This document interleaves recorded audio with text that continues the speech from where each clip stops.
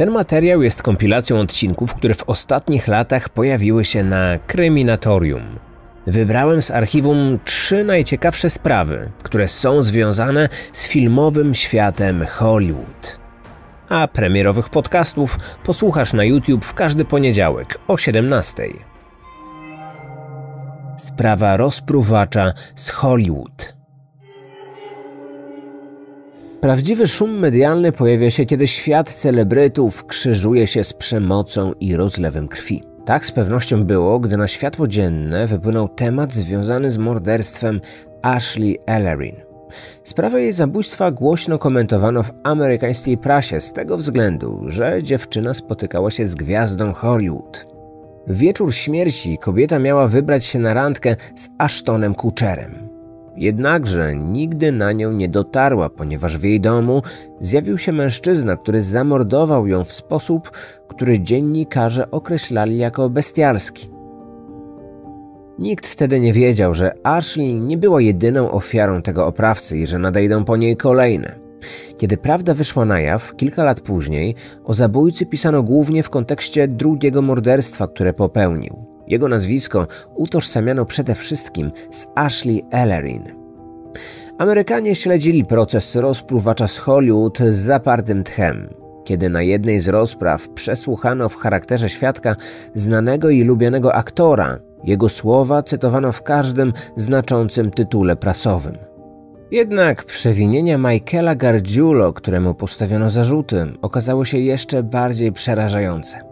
Jak większość seryjnych morderców, kierował się pewnym kluczem w doborze swoich ofiar. Polował na kobiety, które były młode, piękne i lubiane. Cechą charakterystyczną jego czynów było to, że wybierał te osoby, które mieszkały blisko niego. Swoje zbrodnie starannie planował. Musiał dobrze zaznajomić się z tymi kobietami, ale nie chciał poznawać ich bezpośrednio. Wolał je śledzić i obserwować z ukrycia. Swoją zbrodniczą karierę rozpoczął, kiedy był jeszcze nastolatkiem i mieszkał daleko od Hollywood, miejsca, z którym później go kojarzono. Mężczyzna, który pewnego dnia został okryty niechlubną sławą i nazwano go rozpruwaczem z Hollywood, urodził się w lutym 76 roku w Gleniew, niewielkiej miejscowości położonej około 30 km od Chicago. O dzieciństwie i wczesnej młodości Michaela niewiele wiadomo. Ze zdawkowych informacji na jego temat można się dowiedzieć, że miał sześcioro rodzeństwa. Jego rodzice, wychowując siedmioro pociech, nie byli w stanie poświęcić wszystkim właściwej uwagi. Po latach, kiedy go schwytano, Michael przyznał, że w dzieciństwie czuł się lekceważony przez dorosłych. Miał również doświadczyć przemocy fizycznej i psychicznej ze strony ojca i starszych braci. Nie uważał jednak, aby stanowiło to źródło jego problemów w dorosłym życiu. Choć nigdy nie uzyskano potwierdzenia, że historia opowiedziana przez niego organom ścigania była prawdziwa, psycholodzy i psychiatrzy, którzy poddali go badaniom, byli skłonni w nią uwierzyć. Zwłaszcza, że z zeznań poszczególnych świadków, tych, którzy znali go na wczesnym etapie życia, wyłonił się obraz szkolnego prześladowcy, chłopaka bardzo nerwowego i skłonnego do wybuchów. Gargiulo uczęszczał do miejscowej szkoły średniej. Tam miał grono znajomych, którzy czasami się go obawiali. W niektórych momentach woleli zejść mu z drogi. Obserwowanie go w akcji, to jak się zmieniał, było czymś przedziwnym. Wszystko zwykle działo się w ciągu sekundy. W jednej chwili był normalnym gościem, z którym można było pogadać i wyjść gdzieś po zajęciach, ale za chwilę potrafił stać się szalony. Wystarczyło, że przeskoczył ten jego przełącznik i stawał się kimś innym, kimś wręcz nieludzkim. Jednym z najbliższych znajomych Michaela był Doug. Mieszkali blisko siebie i często się odwiedzali. Zwłaszcza Gargiulo był częstym gościem w domu rodziny Pacaccio. Jego przyjaciel miał starszą siostrę, Tricia. Uczęszczała ona do tego samego liceum, ale nigdy nie zwracała szczególnej uwagi na znajomego młodszego brata. Jednak ta dziewczyna przykuła uwagę Michaela. Tamte lato miało być pamiętne dla Trissy. Właśnie skończyła szkołę i szykowała się do wyprowadzki. Wraz z początkiem jesieni miał rozpocząć naukę w koledżu. 13 sierpnia 1993 roku umówiła się z przyjaciółmi na imprezę pożegnalną. Tricia nie mogła doczekać się rozpoczęcia nowego etapu w życiu.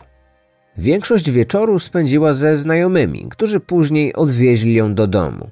Rankiem następnego dnia jej ojciec ujrzał widok, przez który serce szybciej mu zabiło. Na początku zauważył przy drzwiach wejściowych do domu pozostawione buty córki. Kiedy mężczyzna wyjrzał za próg, zobaczył zwłoki Trisi. Miejsce zbrodni było zaznaczone litrami krwi, a na ciele zmarłej dziewczyny gołym okiem można było dostrzec liczne rany kłute. Wszystko wskazywało na to, że kiedy ofiara wysiadła z samochodu znajomych, nigdy nie weszła ponownie do domu.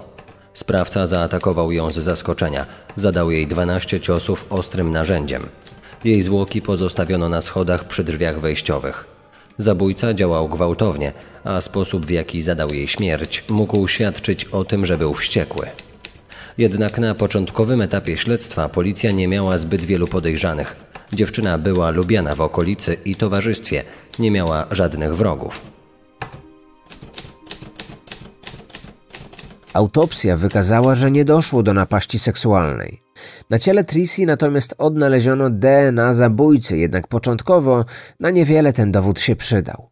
Policja błąkała się wtedy po omacku. Nie wiedzieli, kogo umieścić w kręgu zainteresowania. Dopiero po pewnym czasie uwagę stróżów prawa przykuł Michael Gargiulo. Uznano, że profil sprawcy zabójstwa pasowałby do niego. Sposób zadania ciosów, wygląd miejsca zbrodni, te elementy świadczyły o tym, że ktokolwiek zabił w codziennym życiu przejawiał agresywne zachowanie. Poza tym kojarzył zamordowaną kobietę, znał dobrze jej brata i przebywał w ich domu, a właśnie tam doszło do przestępstwa. Michael wykazał też nadmierne zainteresowanie postępami śledztwa. Ciągle dopytywał, czy wiadomo coś nowego. Swego przyjaciela, brata zamordowanej kobiety, zapytał pewnego razu, co by zrobił, gdyby ten dowiedział się, kto zabił siostrę. Stróże prawa mieli przeczucie, że Michael mógł mieć coś wspólnego ze śmiercią Trisi, aczkolwiek nie było dowodów.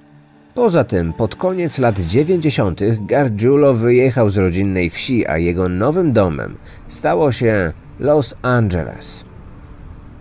Nowe miejsce zamieszkania dało Michaelowi okazję do dalszego zabijania. W momencie pierwszego zabójstwa miał zaledwie 17 lat. Odstęp pomiędzy pierwszym mordem a drugim wyniósł 8 lat. W tym czasie nastąpił etap wyciszenia. To jest charakterystyczne dla seryjnych morderców.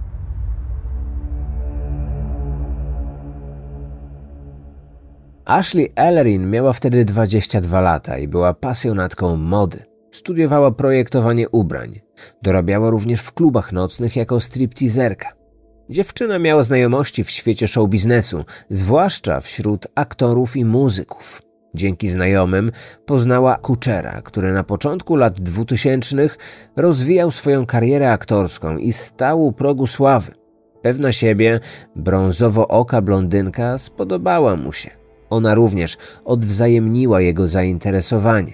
Para była kilka razy widziana w swoim towarzystwie. Ashley przykuwała uwagę innych mężczyzn. Często zaczepiali ją na ulicy, próbowali zdobyć jej numer telefonu lub adres. Mimo to ta młoda kobieta najczęściej ich zbywała. Od czasu do czasu zdarzali się bardziej nachalni mężczyźni, a ich zachowania zakrywały o nękanie. Jedną z takich osób był właśnie Michael Gargiulo. Mężczyzna po przyjeździe do Los Angeles postanowił spróbować swoich sił w świecie filmowym. Podejmował się różnych prac i w pewnym momencie zaproponowano mu także niewielką rolę boksera w filmie krótkometrażowym. Jednak dla większości filmowców Gargiulo był przeciętnym mężczyzną, bez charyzmy i większego talentu. Ellerin również postrzegała go jako kogoś zwyczajnego, choć nieco dziwnego. Nie czuła jednak powodu do niepokoju, gdyż nie znała go na tyle dobrze, by przewidzieć, że będzie chciał ją skrzywdzić. Nie wiadomo, kiedy i gdzie ta dwójka natknęła się na siebie pierwszy raz, jednak Michael był oczarowany Ashley. Pojawiał się pod jej domem, obserwował ją z ukrycia, nachodził. Z biegiem czasu poskarżyła się znajomym na tego uporczywego stalkera. Oni również widzieli, jak Michael nie odpuszcza i śledzi ją. Takich sytuacji, kiedy on ją obserwował z daleka, było kilka. Szczególnie pamiętam jedną. Zaparkował swój samochód w pobliżu miejsca jej zamieszkania. Nie wyłączył silnika, nie wyszedł też z auta. Po prostu siedział i się wpatrywał w jej dom. Zachowywał się, jakby jej wyczekiwał. Ten gość siedział tak przez dłuższą chwilę, zanim odjechał. Bardzo dziwna sytuacja, szczególnie, że było wtedy bardzo wcześnie rano. Nie zaprzątało sobie głowy podejrzanym stalkerem. Uwagę wolała poświęcić innemu mężczyźnie, który wydawał się jej atrakcyjny i którego uczucia odwzajemniała. Kuczer był dla niej idealnym materiałem na chłopaka. Po kolejnej udanej randce aktor postanowił zaprosić ją na imprezę zorganizowaną po gali rozdania nagród muzycznych. Ellerin przyjęła zaproszenie. Bardzo chciała tam iść. Para umówiła się, że przyjedzie po Ashley i wspólnie pójdą na imprezę. Nieoczekiwanie plany nieco się zmieniły. Aktor postanowił, że galę obejrzy wspólnie ze znajomymi, a dziewczynę odbierze z domu nieco później. Zatelefonował do niej, żeby przekazać jej te informacje, jednak ona już nie odbierała telefonu. Kolejne próby kontaktu nie przyniosły żadnego rezultatu. Ostatecznie zostawił jej wiadomość na poczcie głosowej. Chwilę przed godziną 23 aktor podjechał pod jej dom. Światło w środku było zapalone, a na podjeździe stało jej auto. Kiedy nie otworzyła drzwi, pomyślał, że dziewczyna musiała się na niego obrazić. Spojrzał w okno i zauważył, że na podłodze ktoś rozlał wino, ale nigdzie nie było śladu kobiety.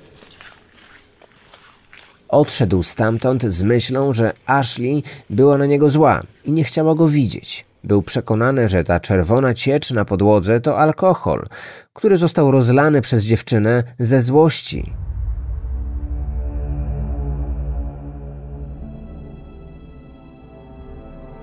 W rzeczywistości Ashley nigdy nie odsłuchała tej wiadomości. Nie wiedziała, że Kucher zamiast o 20 przyjedzie po nią nieco później. Podekscytowana randką z gwiazdą, kobieta szykowała się do spotkania. Wzięła długą i relaksującą kąpiel. Kiedy wychodziła z łazienki, ktoś szybko i gwałtownie ją chwycił. Choć Ashley próbowała się wyrwać z objęć napastnika, ten okazał się silniejszy. Stała do niego tyłem, więc nie mogła nawet zobaczyć jego twarzy. Sprawca miał przy sobie nóż, którym zadał śmiertelne ciosy.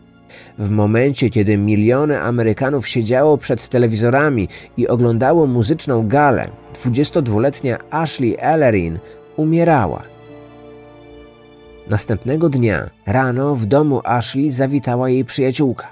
Chciała z nią porozmawiać i dowiedzieć się wszystkich szczegółów na temat imprezy i randki. Jednak kiedy weszła do środka, w domu panowała kompletna cisza. Idąc dalej w głąb, znalazła przyjaciółkę, która leżała na schodach prowadzących na górę. Ellerin była martwa. Jej ciało było sine i widniało na nim mnóstwo ran zadanych nożem. Wszędzie wokół była krew. Miejsce przypominało scenerię z horroru. Przestraszona kobieta uciekła stamtąd do swojego samochodu i wtedy zadzwoniła po policję. Sprawca czynu pozostawił ofiarę z otwartymi ranami, by ta się wykrwawiła. Zadał jej łącznie 47 ciosów nożem, celując w różne części ciała. Głowa denatki została prawie odcięta, zadane rany były głębokie. Zaatakował i zasztyletował ją w korytarzu przed wejściem do łazienki. Na ciele zamordowanej zabezpieczono ślady świadczące o tym, że walczyła.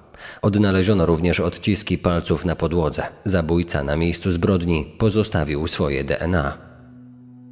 Sprawa stała się priorytetem policji w Los Angeles. Praktycznie od razu zaczęto przesłuchiwać świadków i wszystkie najbliższe osoby dla zamordowanej.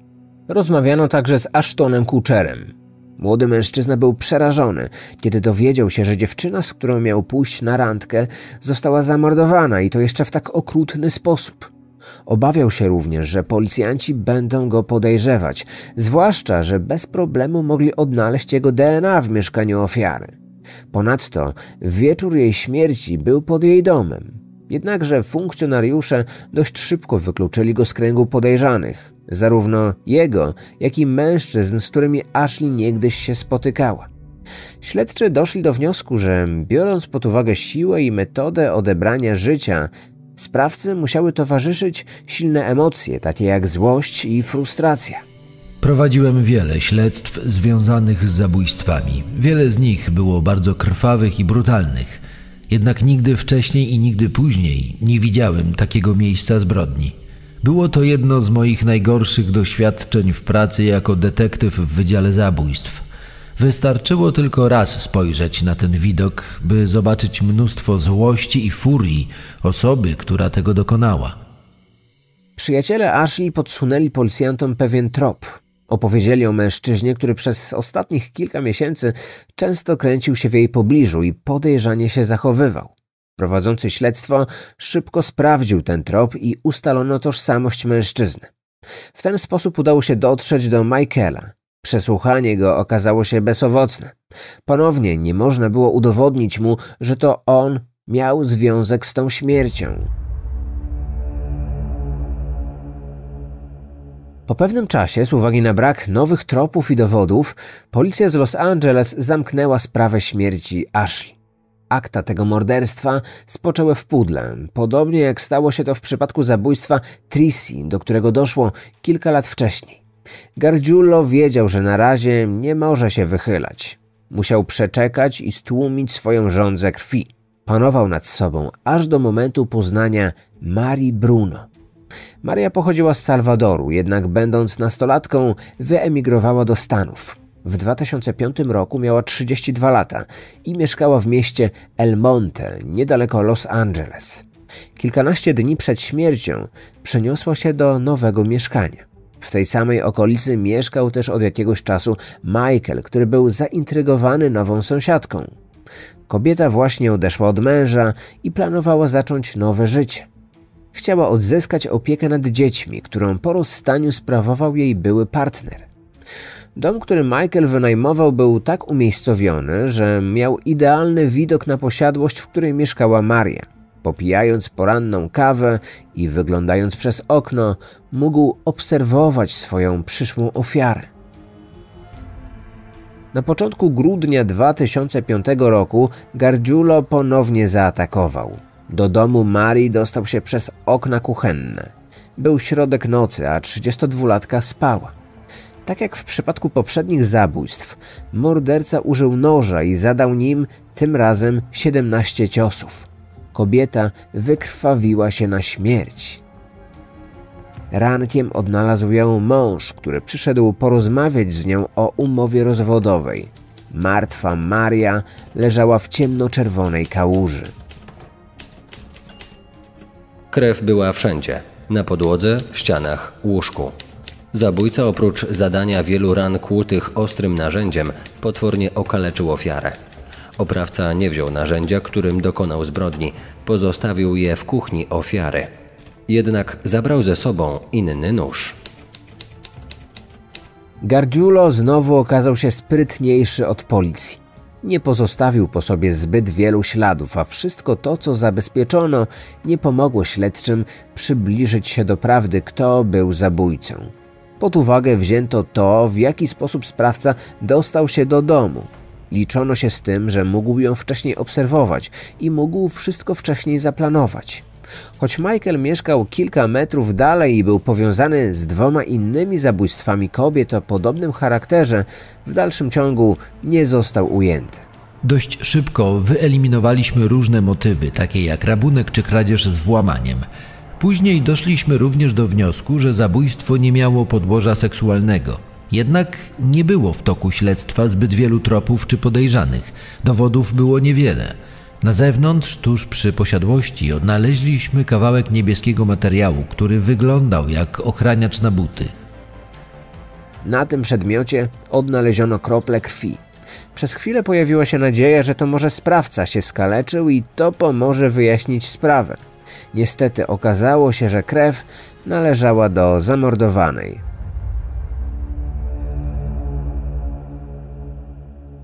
Początkowo policja nie miała pojęcia, że za zabójstwem Ashley i Mary stoi jedna i ta sama osoba. Tym bardziej nie wiedzieli, że zabójca rozpoczął swoją zbrodniczą karierę już w latach 90. setki kilometrów od Kalifornii. Kiedy detektywi z każdym dniem coraz bardziej zbliżali się do prawdy, Michael prowadził normalne życie. Pracował jako tak zwana złota rączka. Naprawiał sprzęty domowe i często gościł w obcych domach. Stanowiło to dla niego idealną okazję do poznania swoich ofiar, tego jak mieszkają. W ten sposób wiedział, jak zaatakować i nie zostać złapanym. Założył nawet rodzinę.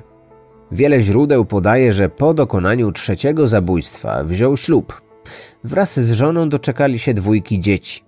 Kobieta, którą poślubił, nie zdawała sobie sprawy, kim tak naprawdę jest ojciec jej dzieci. Ich spokojne, wspólne życie było jednak krótkie. Po zabiciu Marii Bruno, Michael przeniósł się do Santa Moniki. W pobliżu jego domu mieszkała dwudziestoparoletnia Michelle Murphy. Ta młoda kobieta stała się kolejnym obiektem fantazji seryjnego zabójcy. Tak jak w przypadku pozostałych kobiet, Michael również ją obserwował i podglądał. Wykazywał niezdrowe zainteresowanie, ale nikt w porę tego nie zauważył, nawet sama Michelle. W kwietniu 2008 roku Michael wybrał sąsiadkę na swój kolejny cel. Pod osłoną nocy włamał się do jej mieszkania. Wszedł przez okno, które kobieta zostawiła otwarte z uwagi na upały. Michelle była wtedy pogrążona w głębokim śnie, ale kiedy mężczyzna zaczął dźgać ją nożem, przebudziła się. Początkowo kobieta myślała, że to tylko zły sen, ale szybko zorientowała się, że już nie śpi, a to wszystko dzieje się na jawie. Kiedy otworzyła oczy, zobaczyła stojącego nad nią mężczyznę, zadającego jej ciosy w ramię. Zauważyła, że oprawca ściska w dłoni ząbkowany nóż. Chwyciła ostrze obiema rękoma. Próbowała powstrzymać napastnika. Gargiulo nie był w stanie zapanować nad Michelle, która zawzięcie z nim walczyła. Choć teoretycznie to on był silniejszy, to dziewczyna wykazała się sprytem. Nogi podciągnęła do klatki piersiowej i z całej siły kopnęła napastnika. Ten zatoczył się do tyłu i upadł na podłogę. Nożem, który trzymał w dłoni, sam się skaleczył. W tamtym momencie spanikował, zwątpił w siebie i doszedł do wniosku, że jest w tarapatach. Podniósł się z podłogi i zaczął uciekać. Ranna Michelle resztkami sił wstała i ruszyła w jego stronę. Michael na chwilę odwrócił się do niej i powiedział: Przepraszam. Chwilę później opuścił jej dom.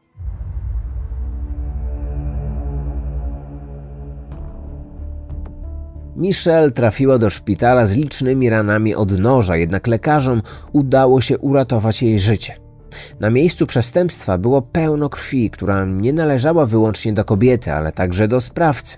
Wszystko za sprawą skaleczenia Gardziula. W ten sposób uzyskano jego DNA. Poza tym Michelle widziała jego twarz, więc była w stanie go wskazać.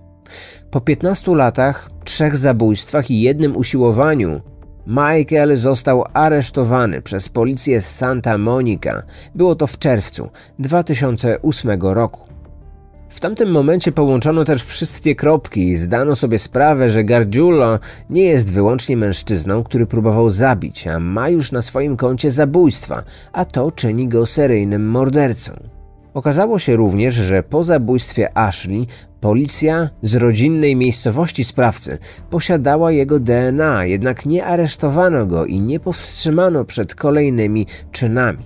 W trakcie przesłuchania na policji padły słowa, które nieco zaniepokoiły śledczych. Jestem niewinny. Nic nie zrobiłem tej kobiecie. Nie udowodnicie mi tego, nieważne jakie macie dowody. To, że 10 kobiet zostało zamordowanych i badacie sprawy ich śmierci, a na miejscach zbrodni odnaleziono moje DNA, wcale nie oznacza, że ja to wszystko zrobiłem. Szokiem dla śledczych był fakt, że Michael zabił trzy kobiety i usiłował odebrać życie czwartej. Kiedy ten wspomniał o dziesięciu zmarłych, pojawiły się przypuszczenia, że ofiar mogło być faktycznie więcej. Chcieli wyciągnąć od niego jak najwięcej informacji. Mieli przeczucie, że to nie były puste słowa, a sprawca, próbując się wybielić, popełnił błąd i powiedział to, co tak bardzo chciał ukryć. Mimo to Michael już więcej nic na ten temat nie wspomniał.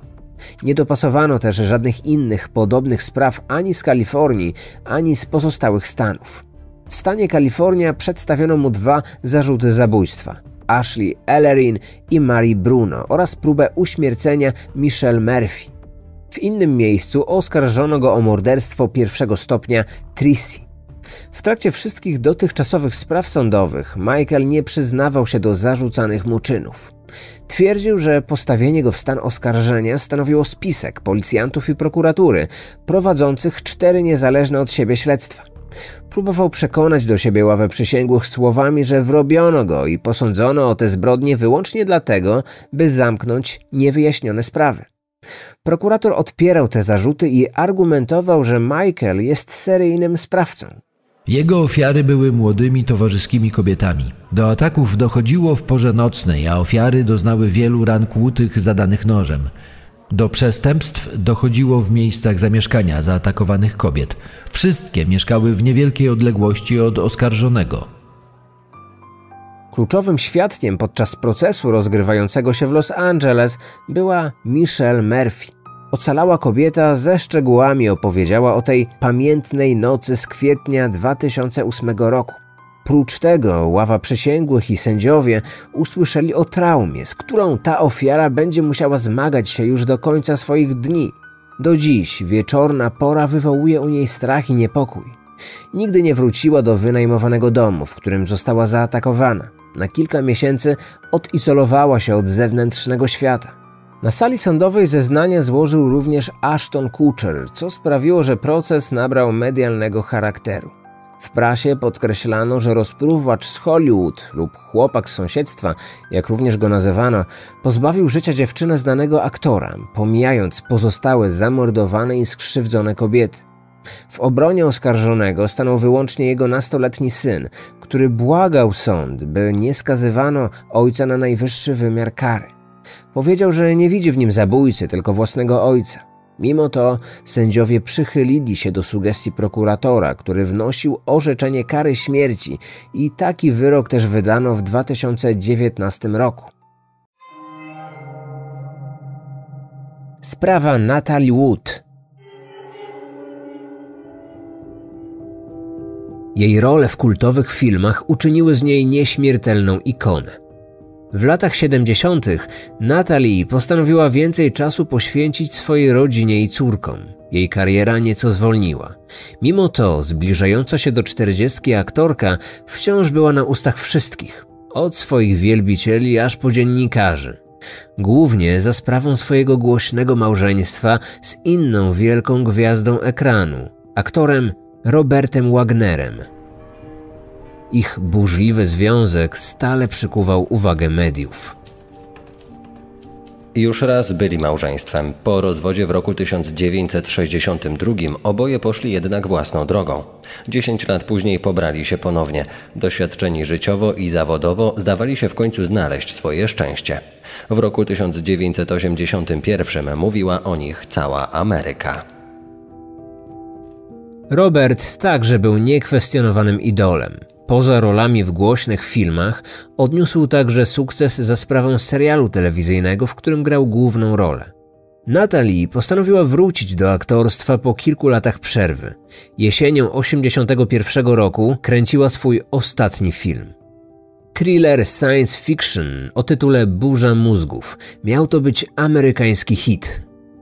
Na planie partnerował jej Christopher Walken, zdobywca Oscara. Z okazji świąt dziękczynienia cała ekipa filmowa Burzy Mózgów otrzymała kilka dni wolnego. Był to ostatni weekend listopada. Natalie zamierzała spędzić ten czas razem z mężem na ich jachcie Splendor w pobliżu kalifornijskiej wyspy Catalina. Para aktorów do wspólnego świętowania zaprosiła również ekranowego partnera Natalie, Christophera Walkena. To, co wydarzyło się wtedy na jachcie, do dziś pozostaje jedną z najmroczniejszych zagadek Hollywood. Wspólna impreza podszyta alkoholem, lekami uspokajającymi, przemocą i zazdrością doprowadziła do tragedii.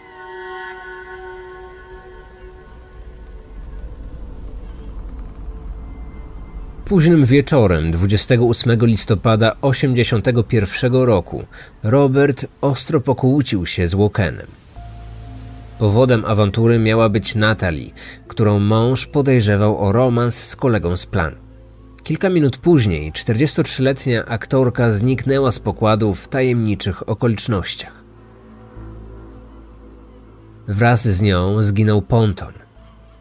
Jej dryfujące ciało znaleziono kilka godzin później. Kobieta ubrana była jedynie w koszulę nocną, skarpetki i puchową kurtkę. Według oficjalnej wersji śmierć aktorki uznano za nieszczęśliwy wypadek. Pijana miała wpaść do wody podczas próby dostania się do nadmuchiwanego pontonu. Nie było świadków tego wydarzenia. Żaden uczestnik imprezy, łącznie z kapitanem jachtu, Denisem Davernem, niczego nie widzieli i nie słyszeli. Na łodzi nie znaleziono żadnych śladów przestępstwa.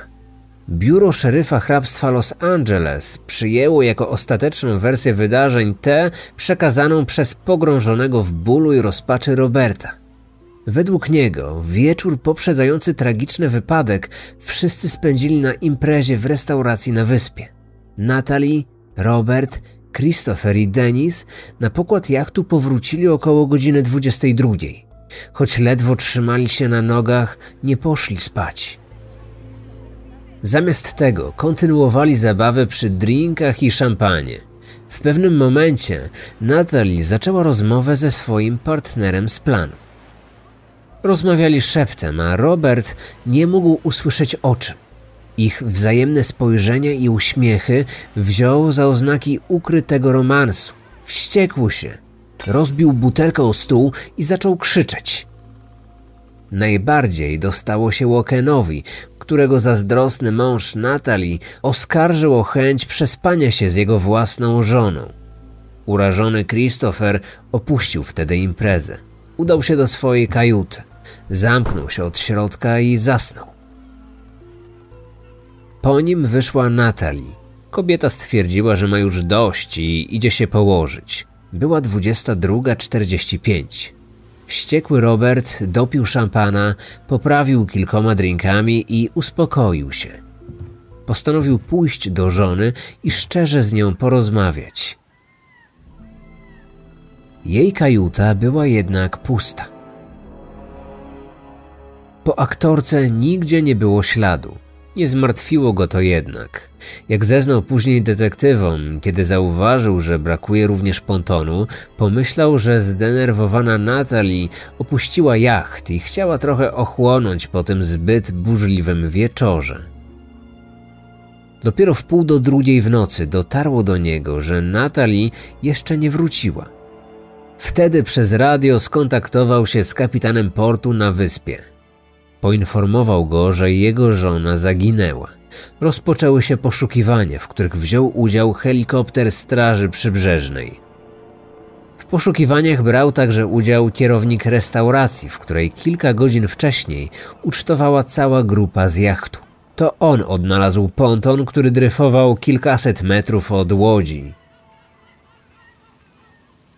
Był pusty, Kluczyk wciąż znajdował się w stacyjce w pozycji wyłączonej.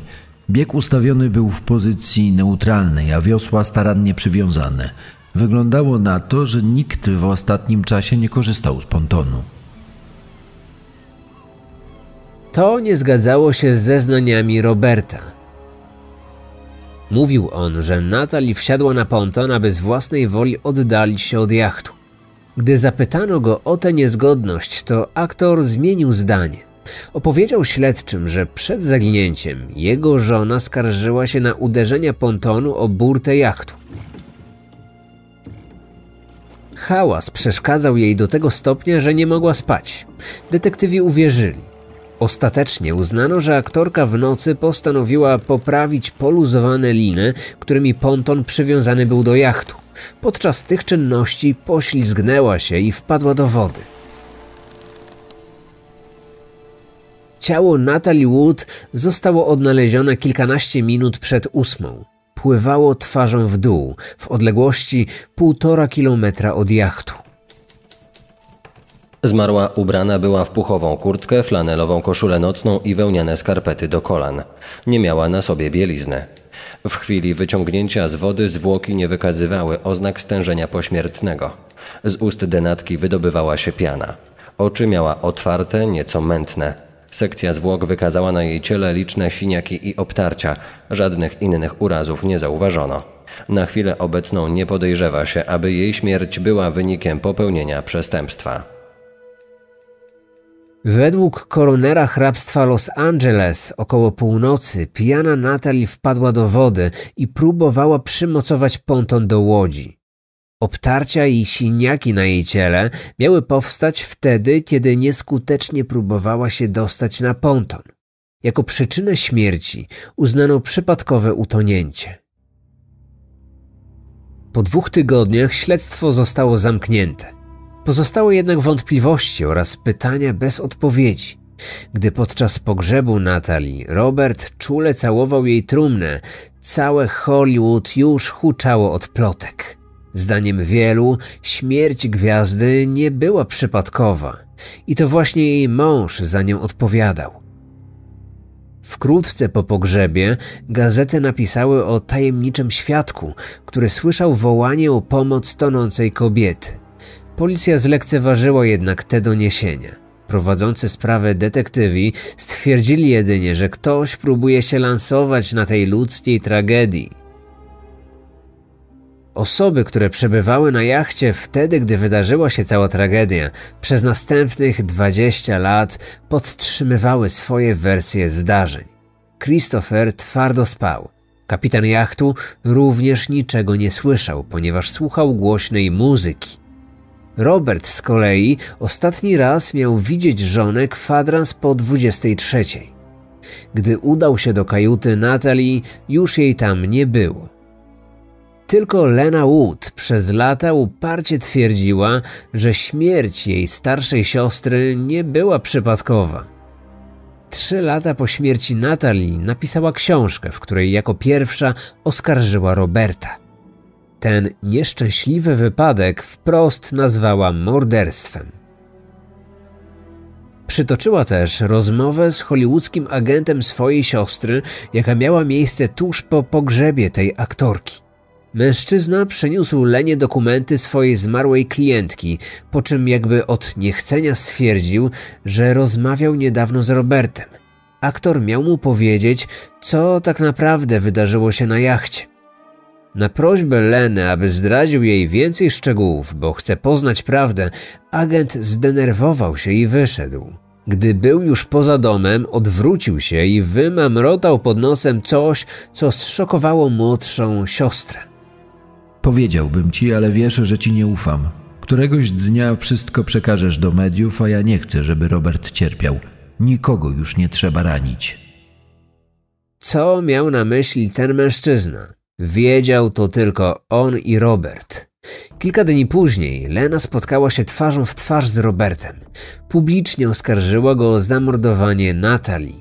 Jej obrońcy szybko wydali oświadczenie i zasugerowali, że Lena Wood, jako kiepska aktorka, próbuje wybić się na pierwsze strony gazet, aby otrzymać lepszą rolę i zdobyć popularność, której zawsze zazdrościła starszej siostrze. Dopiero na początku XXI wieku ukazały się dwie książki, które wstrząsnęły całym Hollywood. Ujawniały one nieznane dotąd rewelacje na temat śmierci Natalie Wood, manipulacje, nieudolnie prowadzone śledztwo oraz celowe lekceważenie kluczowych dowodów. To wszystko było tylko wierzchołkiem góry lodowej w tej sprawie.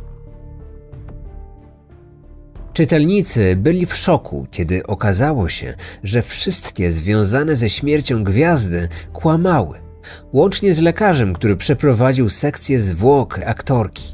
Najwięcej do ukrycia zdawał się mieć mąż ofiary, Robert.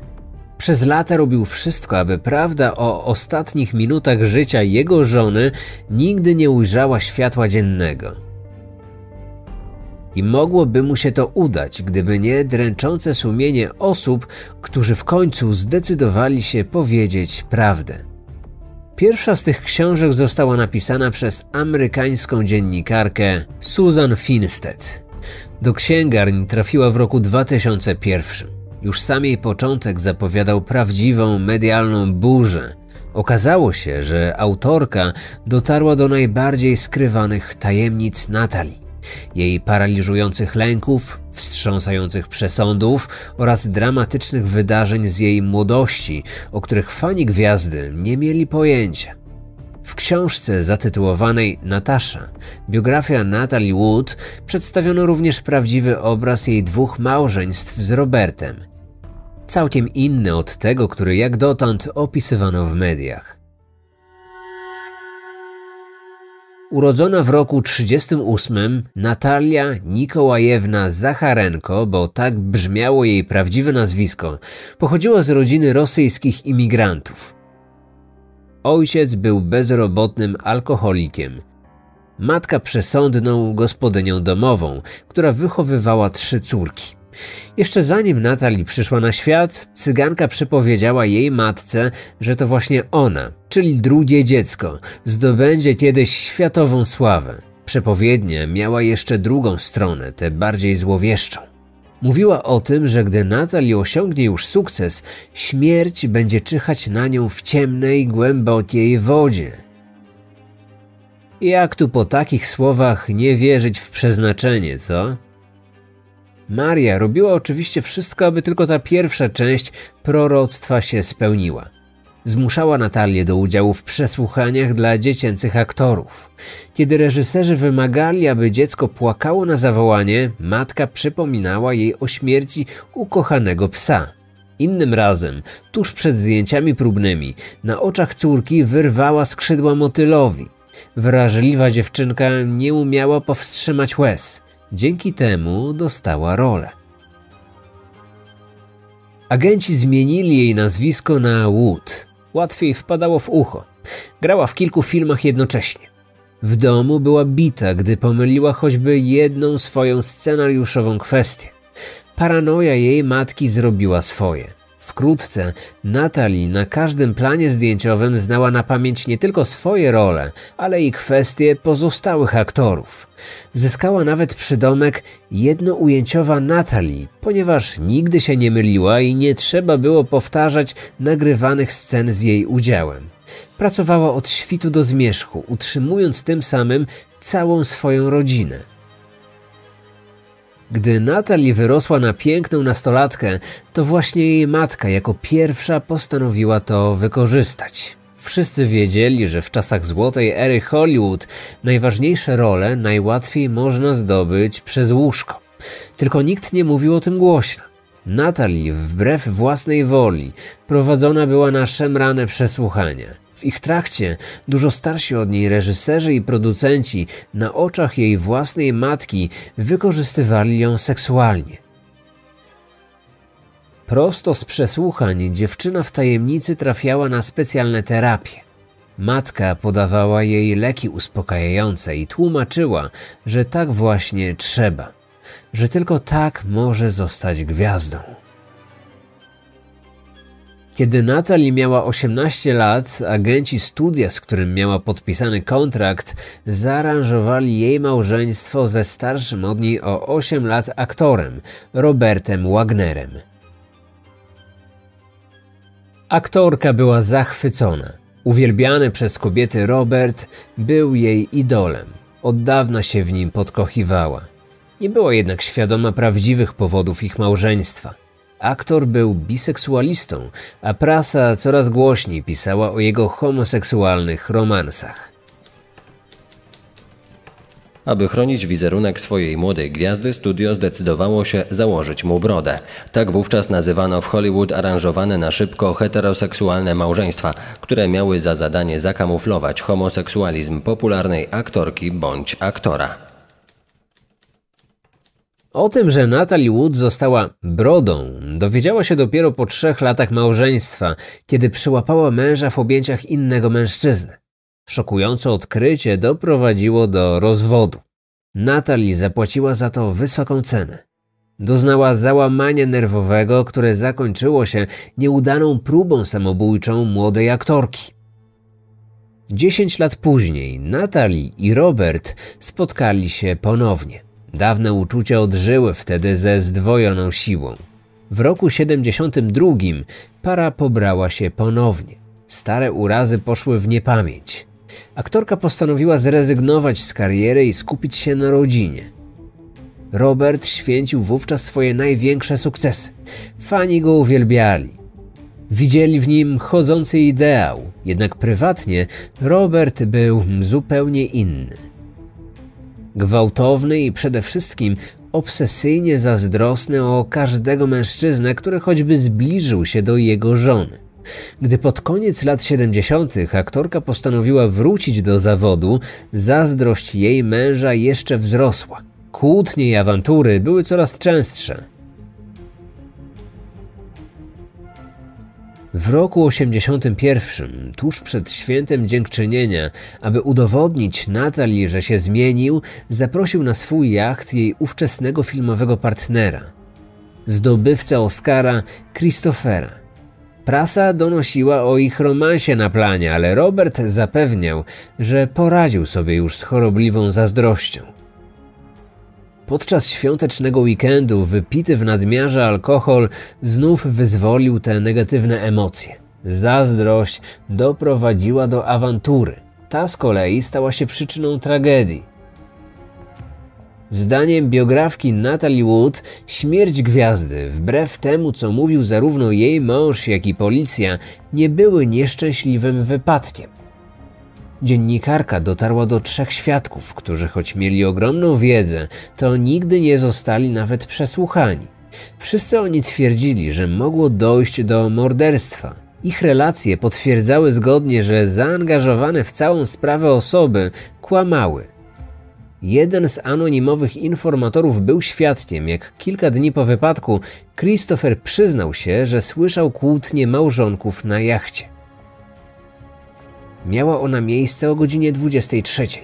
Co więcej, miał on nawet widzieć, jak tuż przed wypadnięciem aktorki za burtę para szarpała się na otwartym pokładzie. Wtedy Robert pchnął żonę tak, że ta upadła i uderzyła głową o pokład.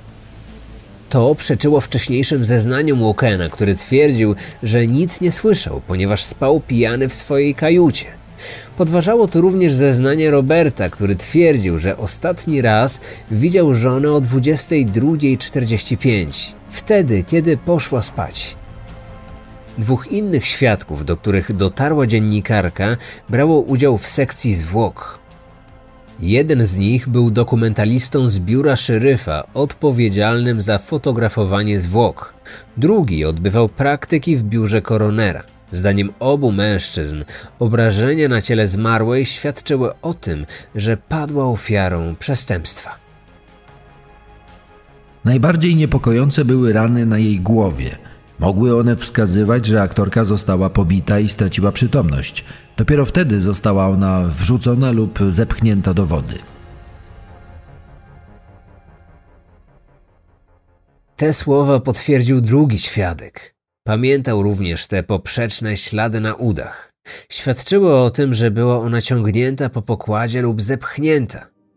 Gdyby powstały one na skutek prób wdrapania się z wody na ponton, jak w swoim raporcie napisał lekarz, który przeprowadzał sekcję, zadrapania biegłyby od kolan w górę. Tymczasem rany na udach zmarłej były poziome i świadczyły o przeciąganiu ciała krótkimi, ale mocnymi ruchami.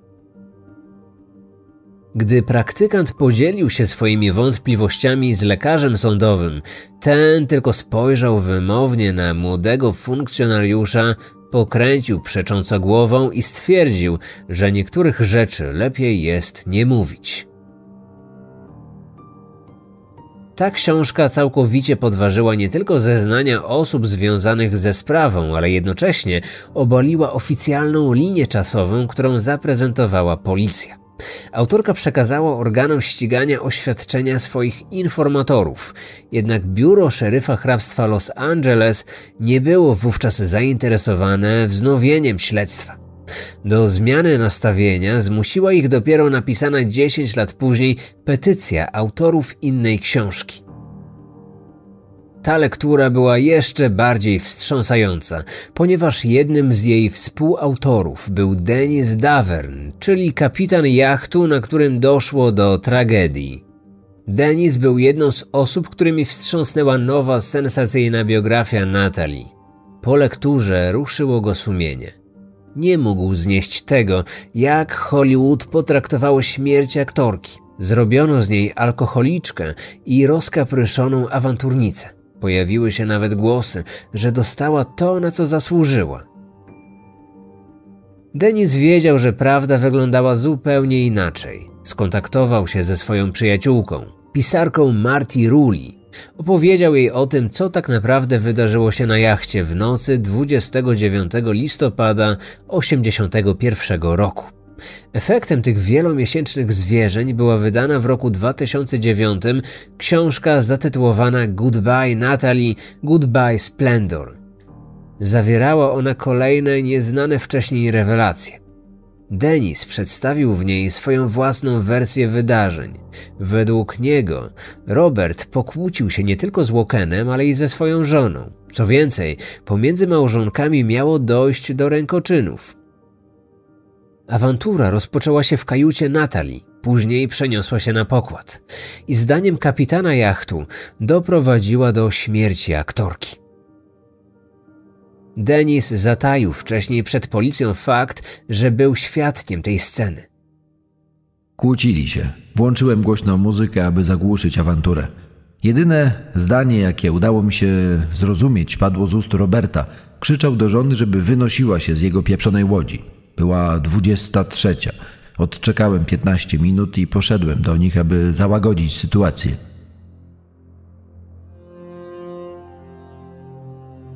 Gdy wyszedł na pokład, był tam tylko Wagner.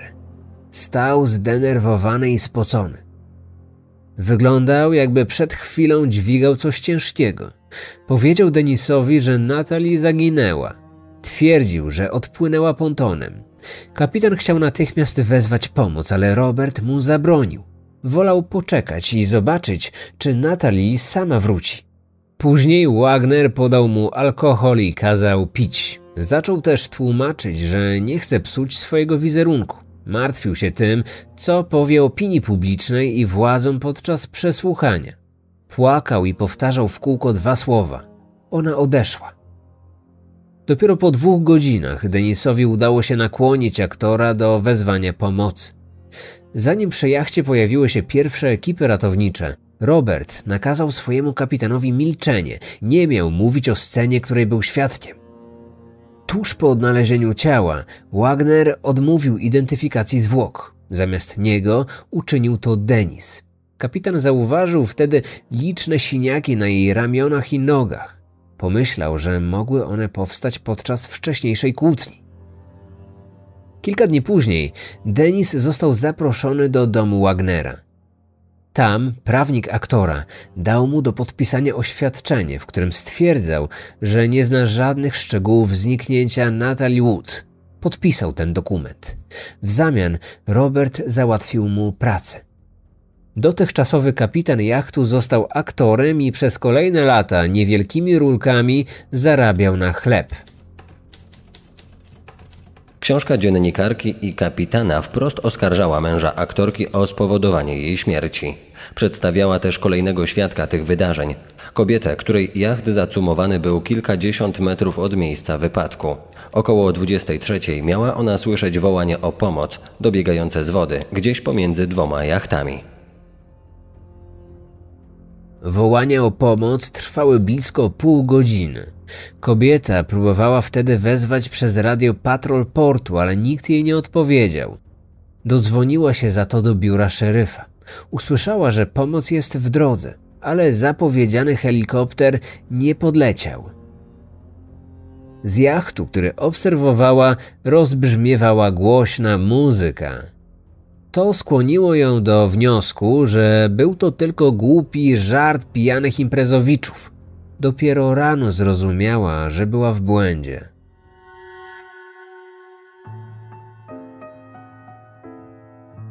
Co ciekawe, pierwsze wydanie książki przeszło właściwie bez większego echa. Dopiero jej wznowienie dwa lata później spowodowało, że o sprawie tajemniczej śmierci Natalie Wood nastąpił długo oczekiwany przełom. Podczas jednego z telewizyjnych wywiadów Denis publicznie przyznał się do tego, że 30 lat wcześniej skłamał podczas policyjnego przesłuchania. W nadawanym na żywo programie oskarżył Roberta o przyczynienie się do śmierci aktorki. W tym samym czasie do biura szeryfa hrabstwa Los Angeles wpłynęła petycja o wznowienie śledztwa. Podpisało ją kilka osób, które nie wierzyły w oficjalną wersję wydarzeń. 17-stronnicowy dokument w szczegółach wymieniał wszystkie błędy, jakie zostały popełnione podczas pierwszego śledztwa. Wskazywał również na wątpliwości w zeznaniach osób znajdujących się wówczas na pokładzie jachtu. Denis powtórzył w tej petycji swoją wersję, która znacznie różniła się od tej przedstawianej przez Roberta. Policja z Los Angeles natychmiast wznowiła śledztwo. Po 30 latach detektywi ponownie przyjrzeli się dowodom i raportowi z sekcji zwłok aktorki. Okazało się, że istnieją przesłanki, aby uznać śmierć nie za wypadek, ale za morderstwo. Nowy raport koronera stwierdził ponad wszelką wątpliwość, że na ciele aktorki znaleziono świeże siniaki na nadgarstkach i kolanach oraz zadrapanie na szyi i czole.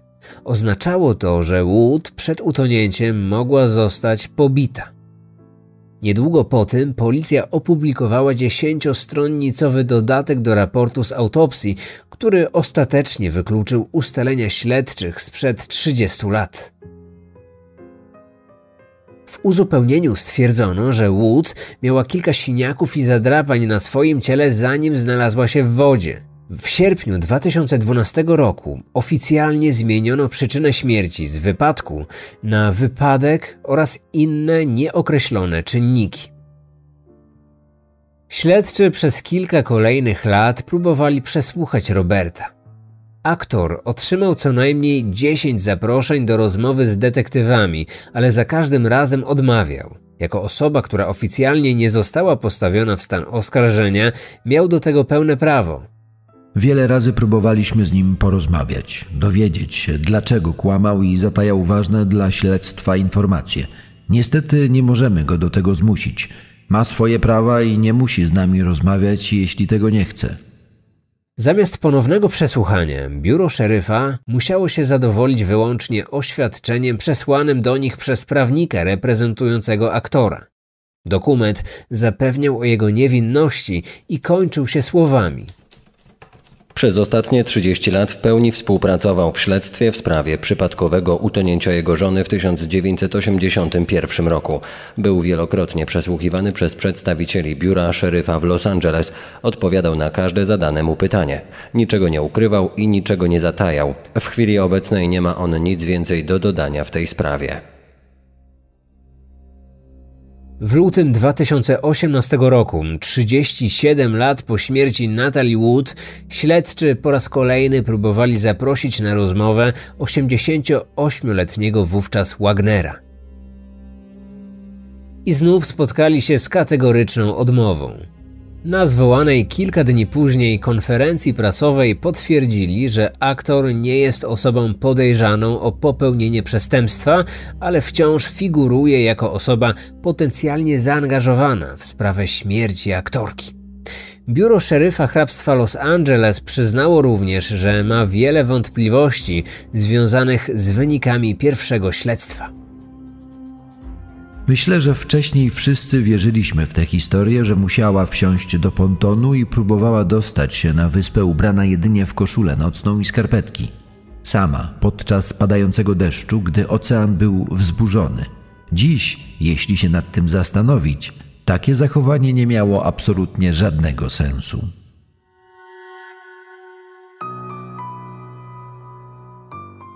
Dziś wciąż sprawa śmierci Natalie Wood pozostaje niewyjaśniona. Niby wszyscy wszystko wiedzą, ale niczego nie można udowodnić. Nikomu. Żadna osoba mogąca mieć związek z utonięciem aktorki nie poniosła odpowiedzialności. Detektywi nie wierzą, że był to wypadek. Wiele wskazuje na to, że pijany i wściekły Robert odpowiada co najmniej za nieumyślne spowodowanie śmierci. Może nawet działał z premedytacją. Na żadną z tych wersji nie ma jednak absolutnie żadnych dowodów. Śledczy są zgodni w jednym. Tylko ostateczne i dobrowolne przyznanie się męża Natalii do winy pozwoliłoby w końcu zamknąć tę sprawę. Na to się jednak nie zanosi. 91-letni dziś Robert Wagner podobno nigdy nie miał żadnych wyrzutów sumienia. Wątpliwe, że nagle ruszy go sumienie i u kresu swojego życia postanowi opowiedzieć światu prawdę o ostatnich chwilach życia Natalie Wood. Sprawa Williama Desmonda Taylora.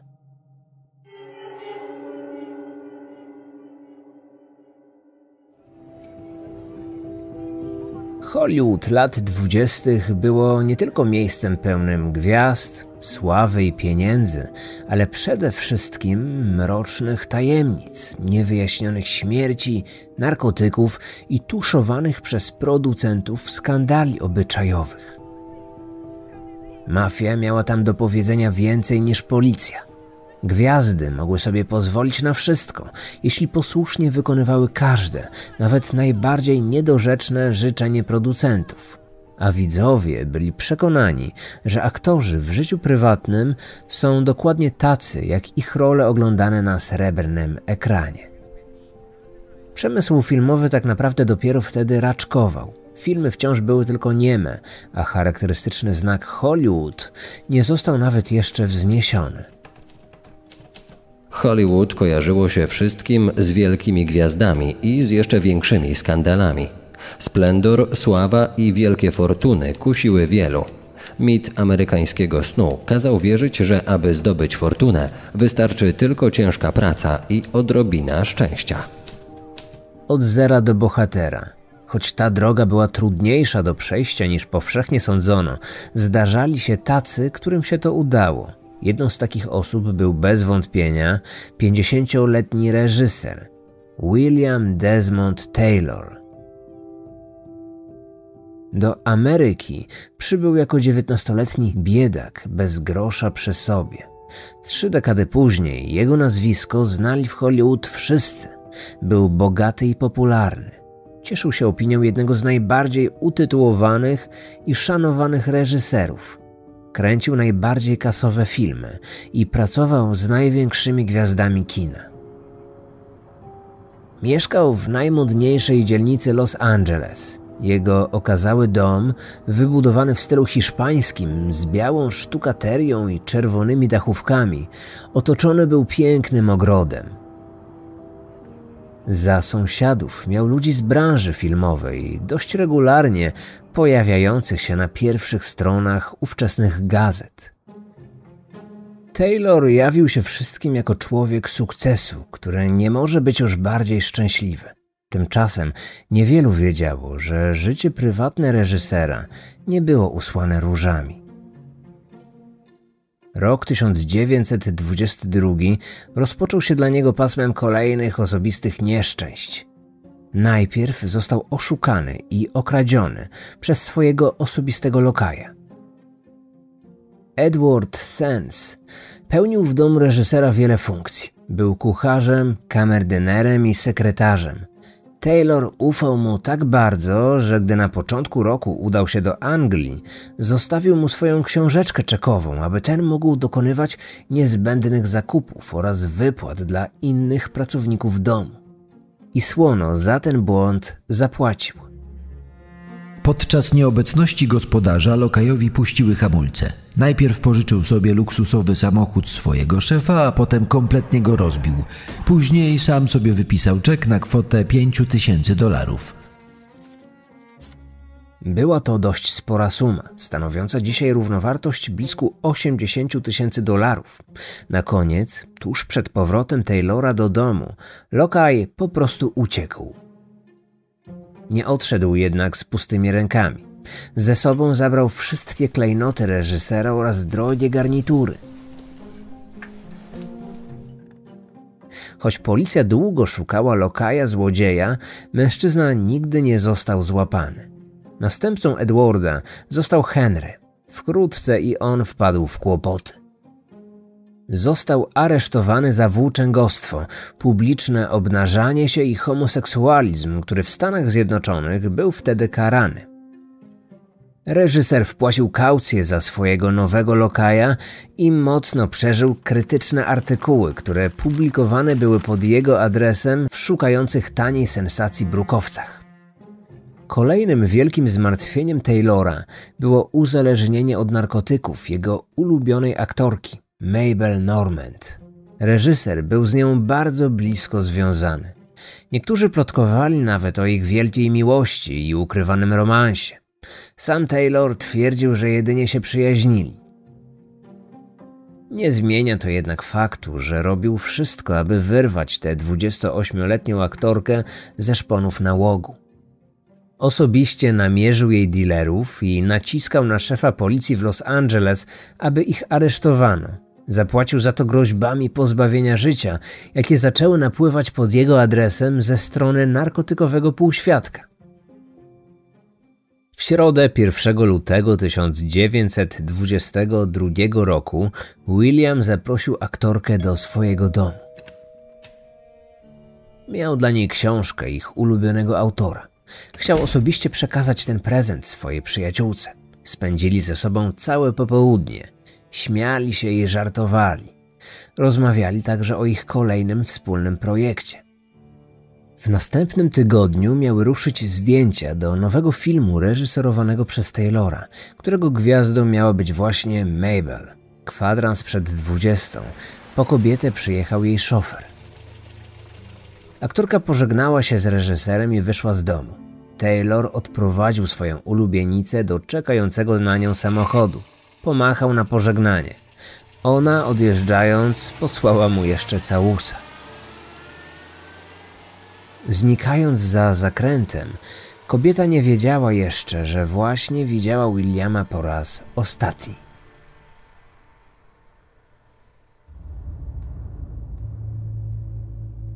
Tej scenie serdecznego pożegnania reżysera i jego przyjaciółki przypatrywała się z okna swojego domu najbliższa sąsiadka, żona aktora Douglasa McLeana.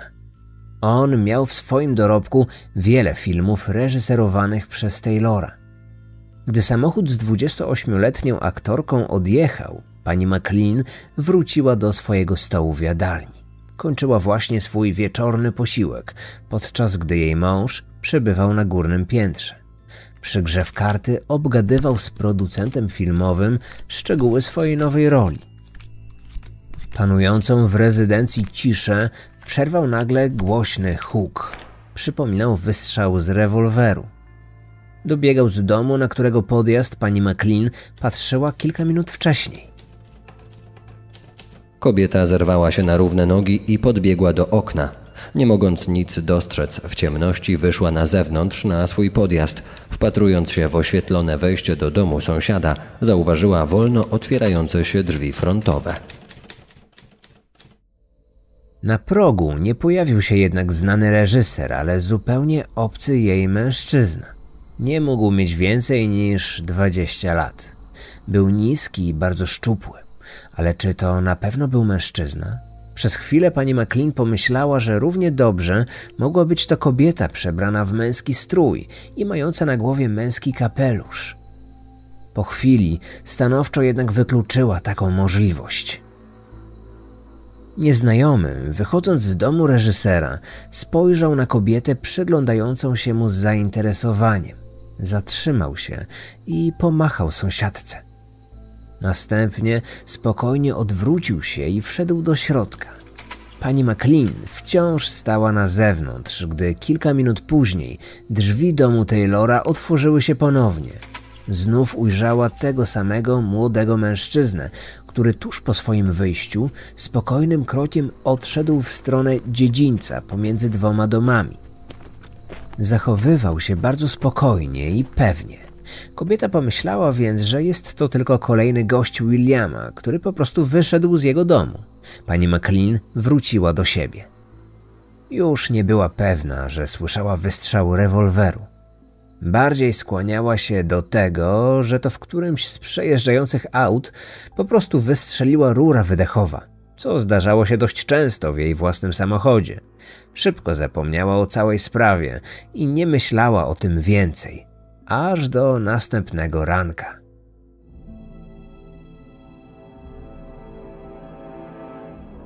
Dwanaście godzin później do posiadłości reżysera przybył jego lokaj, Henry. W przeciwieństwie do swojego poprzednika, nie nocował u pracodawcy. Gdy kończył pracę o 19, wracał do siebie. W domu Taylora pojawiał się następnego dnia, dokładnie o wpół do ósmej. Zabierał z progu poranną gazetę, a następnie otwierał drzwi własnym kluczem. Jednak rankiem 2 lutego nie musiał z niego skorzystać. Ku swojemu zdziwieniu stwierdził, że drzwi wejściowe były otwarte. Henry wszedł do środka. Kilka sekund później z jego gardła wydobył się przerażający krzyk. Jeden z sąsiadów, słysząc krzyki Henry'ego, zadzwonił na policję. Przybyli na miejsce funkcjonariusze od razu natknęli się na gospodarza domu. Był martwy. Na podłodze w salonie leżało w pełni ubrane ciało reżysera. Na jednej z jego nóg stało krzesło. Później odkryto, że w jego kieszeniach znajdował się portfel, srebrna papierośnica, wykałaczka z kości słoniowej i kieszonkowy zegarek. Na palcu miał pierścień z dwukaratowym diamentem.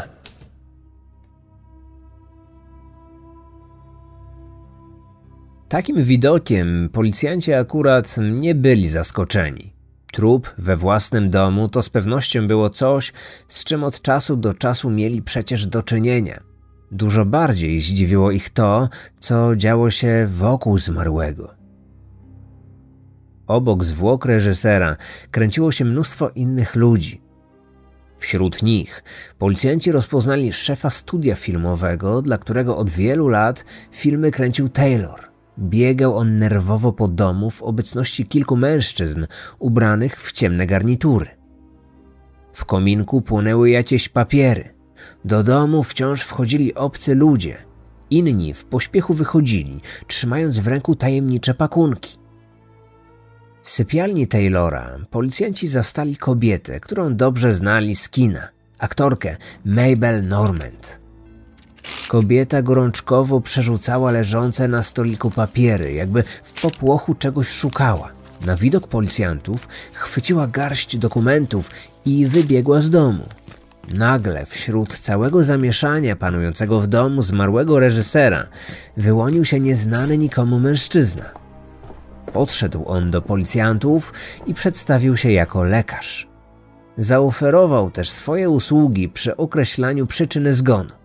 Obecny na miejscu i wciąż czekający na policyjnego lekarza detektyw pozwolił mu zbadać ciało. Mężczyzna obejrzał zwłoki, a następnie, nawet ich nie dotykając, szybko ustalił przyczynę śmierci. Zgon na pewno nastąpił z powodu krwotoku żołądka oraz problemów z sercem spowodowanych przyczynami naturalnymi. Na pewno nie doszło tutaj do morderstwa. Detektyw wpisał usłyszane wnioski do swojego notesu. Gdy po chwili chciał zadać temu lekarzowi kilka pytań, okazało się, że nigdzie go nie ma. Zniknął bez śladu. Do dziś nie wiadomo, kim był ten człowiek i czy rzeczywiście był lekarzem, tak jak się przedstawił. Jego tożsamości nigdy nie udało się ustalić. Prawdziwa przyczyna śmierci wyszła na jaw dopiero wtedy, gdy na miejsce przybyli pracownicy domu pogrzebowego. Po zabraniu ciała zmarłego na podłodze zauważono plamę krwi. Dopiero wtedy okazało się, że reżyser został zastrzelony. Potwierdziła to także sekcja zwłok. Pocisk wszedł za prawym obojczykiem. Dziura po kuli w marynarce zmarłego nie odpowiadała dziurze w kamizelce. Oznaczało to, że w chwili oddania strzału reżyser trzymał ręce podniesione do góry.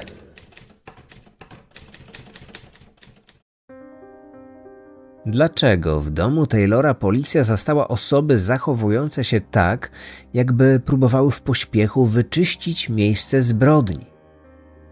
Choć nikomu nie udało się postawić zarzutów o powodzie takiego zachowania, szybko napisała prasa, a powód ten był dla wielu oczywisty. Całe Hollywood jeszcze nie zdążyło się otrząsnąć po dwóch wielkich skandalach sprzed kilku tygodni.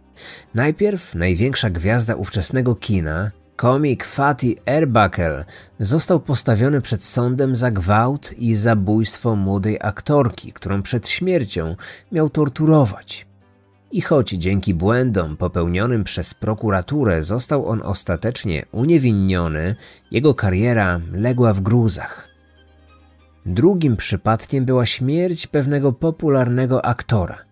Okazało się, że wbrew swojemu wizerunkowi od lat był narkomanem, uzależnionym chyba od wszystkiego, co było tylko nielegalne.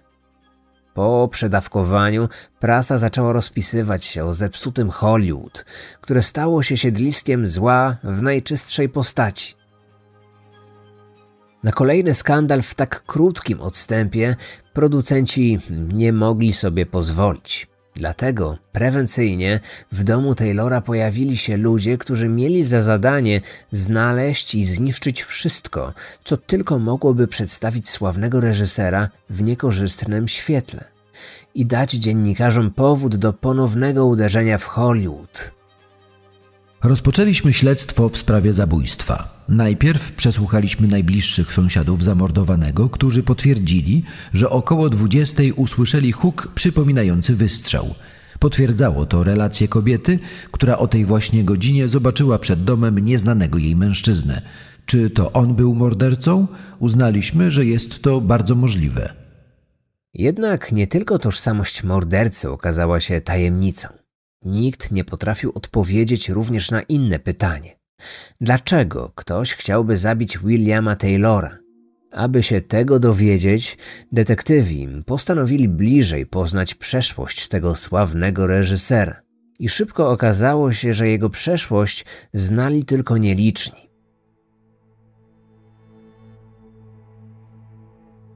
Naprawdę nazywał się William Cunningham Dean Tanner. Pochodził z Irlandii. Jego ojciec był oficerem armii brytyjskiej. Surowy tata i delikatny syn. To musiało prowadzić do wielu konfliktów. Ojciec zarzucał Williamowi, że ten symulował wadę wzroku, aby uniknąć wstąpienia do wojska, o co zabiegał senior rodu. Postrzegał to jako tchórzostwo, choć po latach okazało się, że naprawdę Taylor miał słaby wzrok. Ojcu nie podobało się również to, że jego syn zapragnął zostać aktorem w teatrze. Był wściekły, ponieważ uważał to za mało męskie zajęcie. Z tego powodu wyrzucił nastoletniego Williama z domu. Chłopiec dopiął jednak swego i zaczął występować jako wędrowny aktor, grywając w sztukach ulicznych. Kiedy ojciec się o tym dowiedział, postanowił zrobić wszystko, aby William przestał przynosić hańbę własnej rodzinie. Tak trafił do Kansas w Stanach Zjednoczonych. Wykorzystując swoje znajomości, ojciec umieścił nieposłusznego syna w specjalnym ośrodku, będącym czymś na wzór pseudoreligijnej wspólnoty. Tam z chłopca mieli zrobić mężczyznę i wybić mu z głowy wszystkie niemęskie głupoty. W tym ośrodku William wytrzymał nieco ponad rok i uciekł. Tułał się po całym wschodnim wybrzeżu, pracując fizycznie w różnych zawodach. W roku 1901 trafił do Nowego Jorku, gdzie zaczął występować w teatrze. Tam poznał i poślubił początkującą aktorkę Effie Hamilton. Został też ojcem. Kilka lat później poczuł, że jest znudzony swoim małżeństwem. Zaczął pić, Nudę urozmaicał sobie coraz to nowszymi romansami z przypadkowo poznanymi kobietami. We wrześniu 1908 roku wypłacił z banku wszystkie swoje oszczędności i w tajemnicy przed żoną i córką uciekł na Alaskę. Później trafił do teatru w San Francisco, by wreszcie wylądować w dopiero co raczkującym Hollywood. Zmienił nazwisko na Taylor, aby brzmiało bardziej po amerykańsku. Zaczął od aktorstwa, skończył jako sławny i rozchwytywany reżyser, pracujący z największymi gwiazdami. Po latach tułaczki świat leżał u jego stóp. Gdy był już hollywoodzką gwiazdą, odnalazła go była żona, która miała już nowego męża. Kobieta pewnego dnia była ze swoją nastoletnią córką w kinie. Nagle na ekranie zobaczyła znajomą twarz. Nie mogła uwierzyć własnym oczom. Jej pierwszy mąż, od lat uznawany za osobę zaginioną, grał w amerykańskim filmie. Co więcej, był gwiazdą. Kobieta udała się do Los Angeles, by ostatecznie rozmówić się z uciekinierem. To spotkanie zaowocowało serdecznym kontaktem Taylora z własną córką, który oboje utrzymywali aż do śmierci reżysera. Poznanie przeszłości Taylora nie pomogło detektywom w rozwiązaniu zagadki jego śmierci. Wydawało się, że ten człowiek nie ma wrogów, przynajmniej nie takich, którzy chcieliby go zabić. Rozpoczęło się drobiazgowe sprawdzanie każdego tropu. Wkrótce wytypowano kilku podejrzanych. W pierwszej kolejności skupiono się na lokaju, który okradł reżysera i uciekł. Okazało się, że udając się do rodowitego Anglika, ukrył on swoją prawdziwą tożsamość przed Taylorem. W rzeczywistości był Amerykaninem ze wschodniego wybrzeża. W dodatku był poszukiwany przez policję za defraudację, liczne fałszerstwa oraz dezercję z amerykańskiej armii. Nic jednak nie wskazywało na to, że może być mordercą. Reżyser płacił mu bardzo dobrze, obdarzył go również niemal pełnym zaufaniem. Wszystkie jego przestępstwa zawsze były motywowane chęcią zysku. Był oszustem i złodziejem, ale wszystko wskazywało na to, że nie był mordercą. Poza tym już wcześniej przepadł bez śladu i nic nie wskazywało, że był w pobliżu, kiedy zabito reżysera. Gdyby to on był zabójcą, na pewno nie zostawiłby przy zwłokach gotówki i kosztowności. Śledczy wykluczyli również z kręgu podejrzanych drugiego lokaja. Był on co prawda ekshibicjonistą i homoseksualistą, co według ówczesnego amerykańskiego prawa czyniło z niego poważnego przestępcę, ale policji nie udało się powiązać jego osoby ze śmiercią Taylora. Osiem lat później mężczyzna udzielił wywiadu prasowego, w którym odniósł się do śmierci swojego byłego pracodawcy. Zaskoczonym dziennikarzom zakomunikował, że wie, kto zabił reżysera – nie podał co prawda żadnych konkretnych nazwisk. Powiedział jedynie, że morderstwo miało związek ze słynną aktorką kina niemego i jej zaborczą matką. Nic więcej nie musiał dodawać. I tak wszyscy wiedzieli, kogo miał na myśli.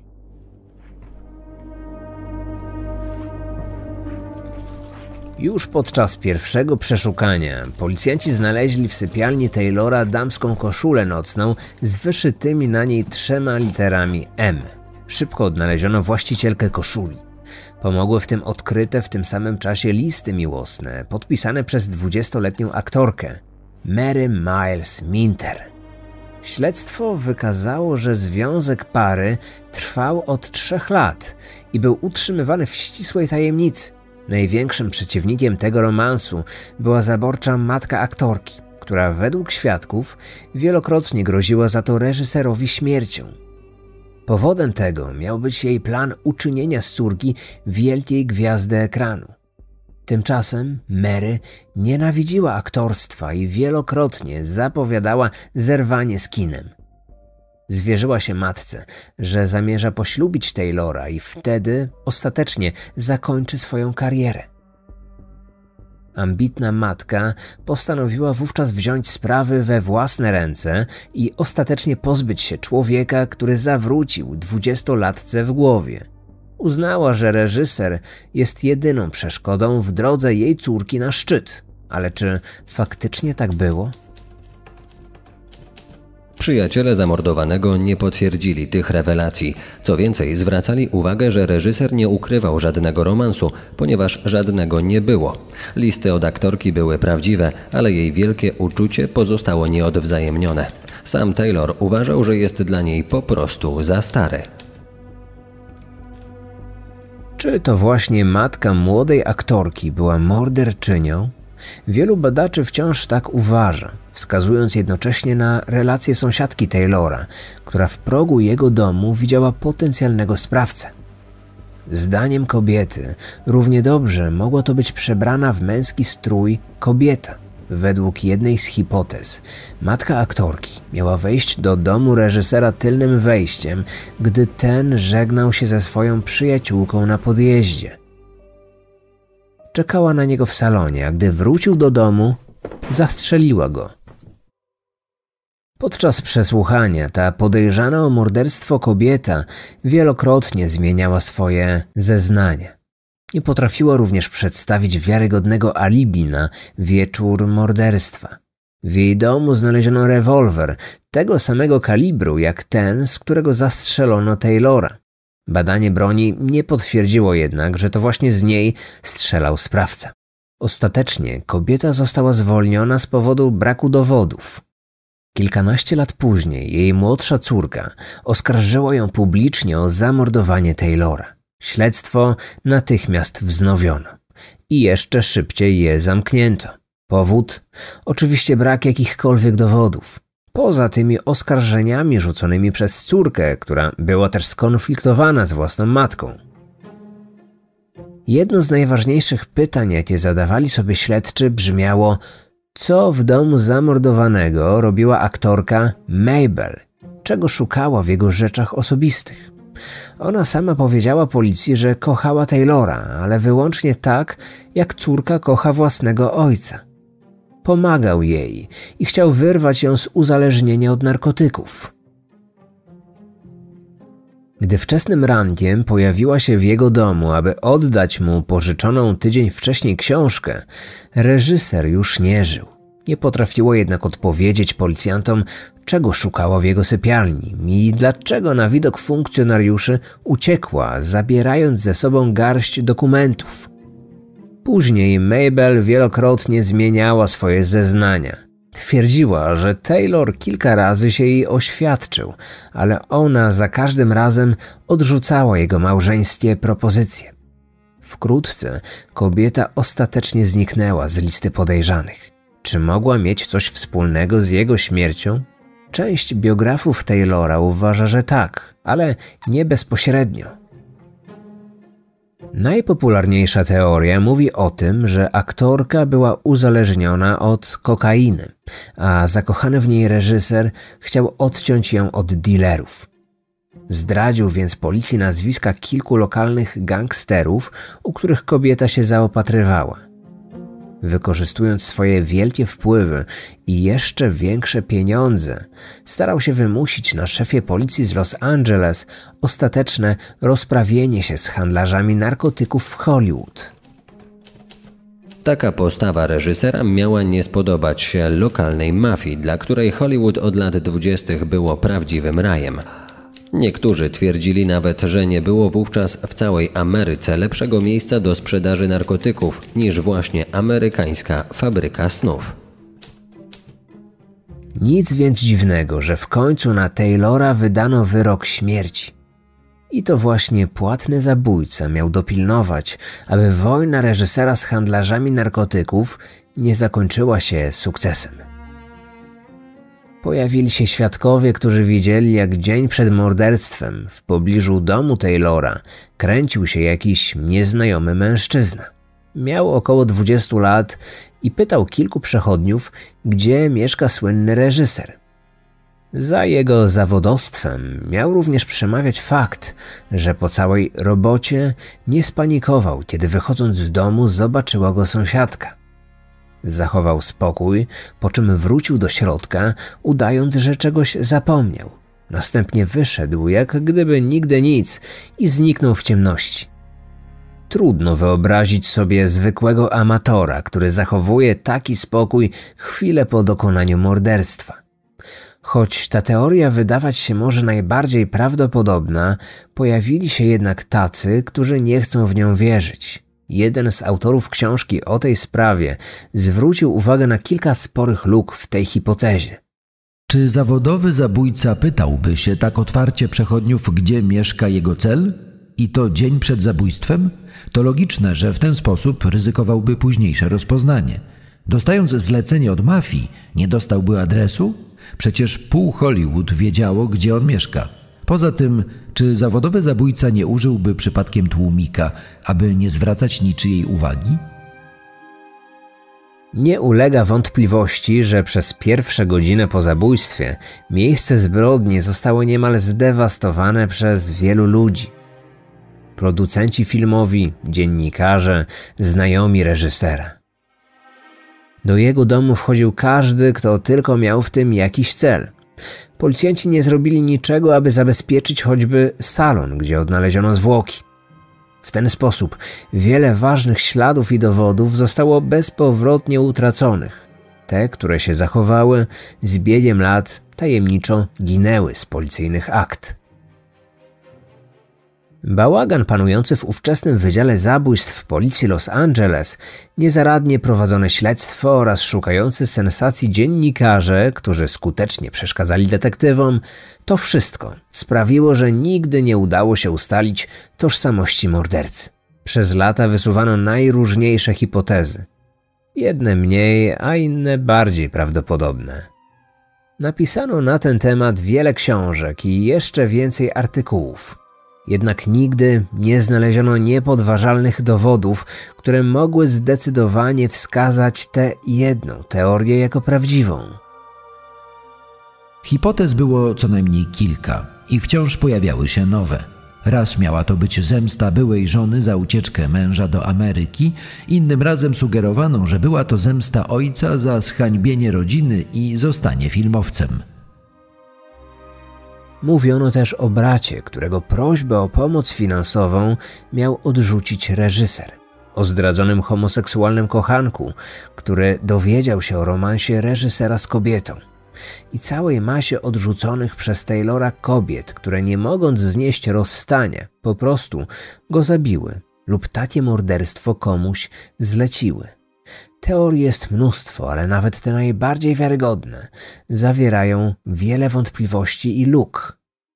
Tymczasem tajemnicza śmierć reżysera wciąż fascynuje Amerykanów będących miłośnikami gatunku true crime. Jednym z powodów takiego stanu rzeczy jest fakt, że w tej historii do dzisiaj nie ma pewności, co jest prawdą, a co jedynie stworzoną przez dziennikarzy fikcją. I pewnie tego już nigdy nie uda się jednoznacznie ustalić. Mam nadzieję, że historia tajemniczej śmierci reżysera Was zainteresowała. Jest coś szczególnego w tych niewyjaśnionych sprawach z Hollywood, przyznajcie. A co za tydzień pojawi się na Kryminatorium? Będzie materiał o z pozoru wyjaśnionej historii, ale mimo wszystko owianej pewną tajemnicą. Odcinek powstał na podstawie artykułów opublikowanych w serwisach People, ABC, CBS News, USA Today. Wykorzystano także informacje zawarte w tekstach takich dziennikarzy jak Christine Pelisek, Venia Stuelp, Maureen Marr czy Michael Crooks. Odcinek powstał na podstawie książki Suzanne Finstead, Lany Wood, Gavina Lamberta oraz duetu Dennis Davern i Marty Rulli. Wykorzystano fragmenty raportu sekcji zwłok, zeznania świadków zawarte w petycji wysłanej do biura szeryfa hrabstwa Los Angeles oraz artykuły prasowe opublikowane w magazynach Town and Country, The Cut i Fox News. Odcinek powstał na podstawie biografii zamordowanego reżysera napisanych przez takich autorów jak Denis Snow, Robert Giroux, Bruce Long oraz Sidney Kirkpatrick.